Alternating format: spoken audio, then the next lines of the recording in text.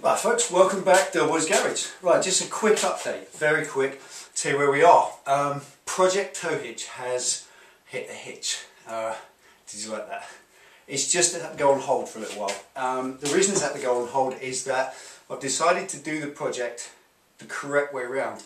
I'm looking for buying a trailer first, uh, rather than finish the hitch and then find the trailer itself won't match up or whatever common sense really, isn't it? So I've been looking on eBay for a cheap trailer and that is a nightmare in itself because you know what people on eBay are like. They always want to let the sale run, then they mess you about.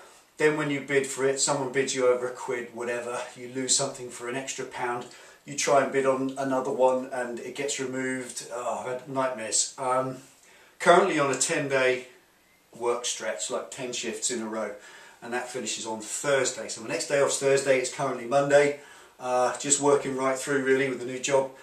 So I haven't had a day a day off at all to do anything. So at the minute everything's still up on the bench. It's all still in place ready to go uh, ready to weld into a single one-piece frame. But if I go doing that I want to know what height the clamp's going to be. With the problems I've had getting a hitch uh, getting a trailer on eBay it may be that I just resort to buying the parts. And that means buying the axles the little stub axles you get uh, which bolt on underneath get some angle iron. Uh, the welding is coming on as you've seen um, so I'm confident that I can put a frame together with some one inch box section. I can buy that from stock. Uh, I could go to the dump and I could find uh, a good source of uh, one inch steel box section I've found is desks. If you go to the dump and you find an old desk, office desks, they often have one inch box section steel and it's two and a half mil thick good stuff. If you just rip it apart and use the framework, it's good free steel. And it's always good if it's free, you know me. So, I may be making a trailer, yeah, I don't know. I bid on one, it went through a five day sale, which is what I've been waiting for while I've been off the tube. Uh, and I didn't win it, um, outbid by a pound. And then miraculously it was relisted, and I said to the guy, that's weird, uh, what about my second chance offer, I'll have it. Uh, and then miraculously he went quiet and went all embarrassed and then it disappeared off of off of eBay which means obviously he was bidding on it himself or he was just stupid. So whatever I didn't get that one. I'm bidding on another one. I've asked the guy if he'll sell it to me now but as you know with eBay they won't. He wants to let the sale run so I've got to wait till Thursday. So Thursday I should know if I've won the trailer. I'm not buying a new one. £200 for a trailer for a bike that looks like that. It's just pointless. So I'm those that do look uh, a bit dishevelled, there's one that's made out of old scaffold planks that was quite cool really, worth about £30 but uh, the guy wanted nearly 100 quid for it which is just bizarre.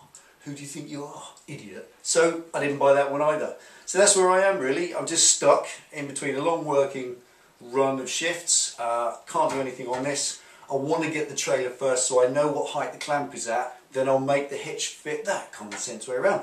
So there we go, that is all it is really. Just want to say thank you so much. In the last six days, I think a hundred, something like a hundred new subscribers in the last 10 days or something like that, which is amazing. So I want to say thank you for that. Thank you for all of your fantastic comments.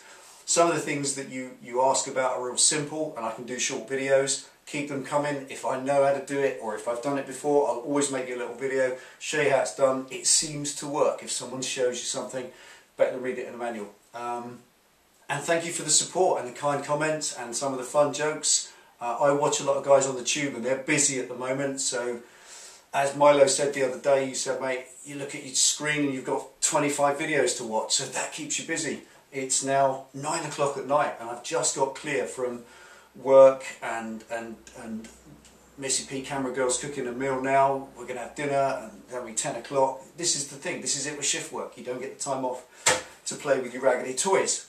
So that's all it is for the minute, thanks for all your support, thanks for watching Delboy's Garage, tune in again, I would hope next two days, three days. I should have a video of the next section, I want to drill these out, some drill bits now, I'm going to make the frame so that it fits but adjustable and then have it ready to just tack. And I may just tack it in place as well so I get the geometry right and then it's there and once the trailer comes, provided it's the right height, I can weld it. If it's not, I can break the tacks and get it correct. So sort of setting it up, ready for final welding and I'll crack on with that on Thursday, it's now Monday, three days time. Okay, there we go. Thanks for tuning in to Watch Garage.